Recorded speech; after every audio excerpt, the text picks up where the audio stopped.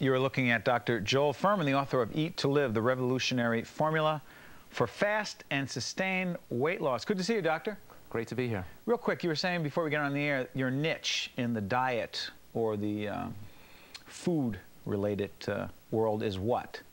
Well, a lot of people out there don't want a gimmick or a, something that's going to have them lose weight in an unsafe manner. They want to know what's optimal, what's going to have them drop weight the quickest, the safest, while at the same time lowering the risk of chronic diseases, reducing cancer risk, have them live longer, have them be more youthful and feel better, and get off medication, get off the high blood pressure medications, get off the cholesterol lowering drugs. Is there a diet that can actually reverse diabetes quickly and get off, stop the medications within a month or two?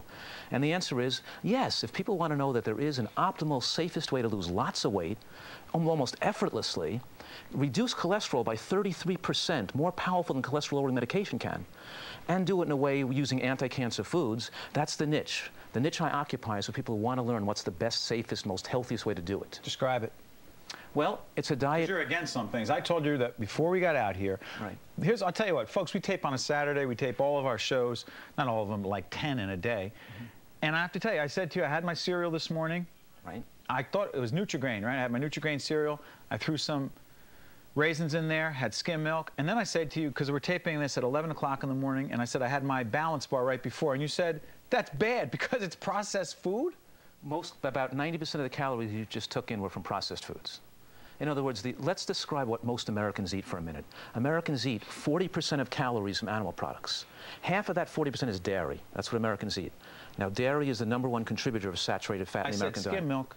Okay. Well, I'm just... Is that better? Yeah, definitely okay, better. Go ahead. Okay. So Americans eat 40% from animal products, and then we eat 51% from processed foods. Pasta, bread, bagels, English muffins, salad oil, olive oil, canola oil, cottonseed oil, donuts, cookies, rice cakes, soft drinks, puff cereals, breakfast bars, pretzels, you know, Cheerios, those kind of foods, right? That's the American diet, leaving over good stuff. Well, those foods, see, let's review this, because that's only 4.5% of calories in the American diet from fruits and vegetables and beans. Those foods, the fruits and vegetables and beans, these natural, healthy foods, are the foods that have all the phytochemicals and nutrients in it that prevent cancer. Right? So that animal products and processed foods don't have in them vitamin E, vitamin C, vitamin K, folate, fiber, vitamin, vitamin K bioflavonoids, beta carotene, gamma carotene, cryptoxanthin, um, well, wait a minute, doctor. I'm taking vitamins. I'm taking a multivitamin. Why do I need to do everything you're saying? I've got my multivitamin. Well, because all these anti-cancer nutrients are found in natural foods. They haven't met the inside of a vitamin pill bottle yet.